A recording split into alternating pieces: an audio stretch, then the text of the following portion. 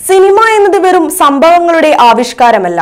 അത് പ്രേക്ഷകൻ എന്ത് അനുഭവിക്കണം എന്ന് തീരുമാനിക്കുകയും അതിനനുസരിച്ചുള്ള ഭാവനയും യാഥാർത്ഥ്യവും ഇഴചേർന്ന ദൃശ്യങ്ങൾ കൊണ്ട് അനുഭവിപ്പിക്കുകയും ചെയ്യുന്ന കരവിരുതാണ്.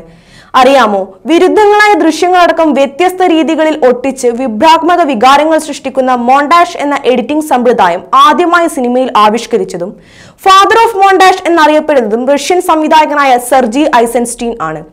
ആയിരത്തി തൊള്ളായിരത്തി ഇരുപതുകളിൽ നിശബ്ദ ചിത്രങ്ങളുടെ സാങ്കേതികതയിൽ പോലും വിപ്ലവം സൃഷ്ടിച്ച സംവിധായകനായിരുന്നു അദ്ദേഹം. അദ്ദേഹത്തിന്റെ ഏറ്റവും പ്രശസ്തമായ ചിത്രമാണ് battleship Potemkin black and വൈറ്റിൽ നിർമ്മിച്ച ഈ ചിത്രം വഴി സിനിമയുടെ സാങ്കേതിക വശവും അന്നത്തെ നിലവാരം വെച്ച് നോക്കുമ്പോൾ ഒരു അത്ഭുതം തന്നെയായിരുന്നു. കാരണം അതുവരെ ആളുകൾ എന്താണോ മുന്നിലുള്ളത് അതിനെ അപ്പാടെ പകർത്തുന്ന രീതിയിലാണ് സിനിമ നിർമ്മിച്ചിരുന്നത്. ഐസൻസ്റ്റീൻ അതിനു പകരം വിവിധ ദൃശ്യങ്ങളുടെ സമൃദ്ധമായ ഉപയോഗത്താൽ പുതിയൊരു വ്യാകരണം ഉണ്ടാക്കിയെടുത്തു സിനിമയ്ക്ക്.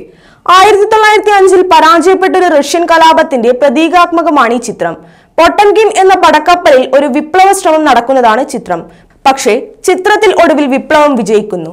അടിമകൾക്ക് തുല്യമായ നരകയാതന അനുഭവിക്കുന്ന കപ്പലിലെ പടയാളികൾക്ക് പുഴുവരിക്കുന്ന സൂപ്പ് കഴിക്കാൻ കൊടുക്കുകയും അവരതിനെതിരെ പ്രതിഷേധമുയർത്തുകയും ചെയ്തപ്പോഴാണ് കലാപം ഉയർന്നത്. ജാക്കുലിൽ ചുക് എന്ന കലാപകാരികളുടെ നേതാവ് സഹപ്രവർത്തകരോട് പറയുന്നു സഖാക്കളെ നാം എല്ലാം തുറന്നടിക്കേണ്ട സമയമായി. റഷ്യ മുഴുവൻ ഉണർന്നിട്ടും ഉണരാത്തത് നമ്മൾ മാത്രമാണ്. അധികം താമസിയാതെ തന്നെ പൊട്ടിപ്പുറപ്പെട്ട കലാപത്തിൽ ജാക്കുലിൽ ചുക് എന്ന നേതാവ് കൊല്ലപ്പെടുന്നു. കരയിലേക്ക് അടുക്കുമ്പോൾ ഒഡേസ പളവുകളിൽ അയാളുടെ ജഡം കാണാൻ ജനങ്ങൾ തടിച്ചുകൂടുന്നു. ജനങ്ങളും കലാപകാരികൾക്കൊപ്പം സംഘം ചേരുന്നു എന്നറിഞ്ഞ സർ ചക്രവർത്തിയുടെ സൈന്യം അവരെ നിഷ്കരണം കൊന്നൊടുക്കുന്നു.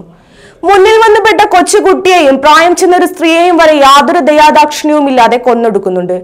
മരിച്ച കുഞ്ഞിന്റെ മൃതദേഹം മാറോടടക്കി നീങ്ങുന്ന വെടിവെക്കരുത് എന്ന് അപേക്ഷയോടെ നിൽക്കുന്ന അമ്മയെയും അവർ കൊല്ലുന്നു. പക്ഷേ ഒടുവിൽ മറ്റു കപ്പലുകളിലേക്കും യുദ്ധം വ്യാപിക്കുന്നു.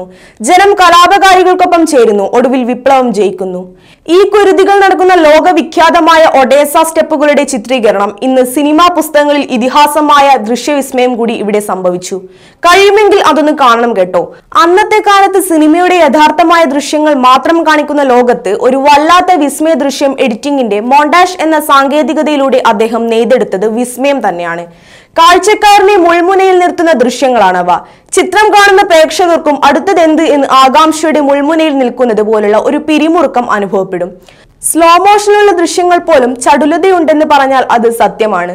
റഷ്യൻ വിപ്ലവത്തിന് എരുതി പകർന്ന ചിത്രം കൂടിയായി അങ്ങനെ ഈ സിനിമ വിസ്മയം. ലോക സിനിമയുടെ ചരിത്രത്തിൽ ഇങ്ങനെ ഇതിഹാസങ്ങളുടെ ഏടുകൾ എത്രയോ.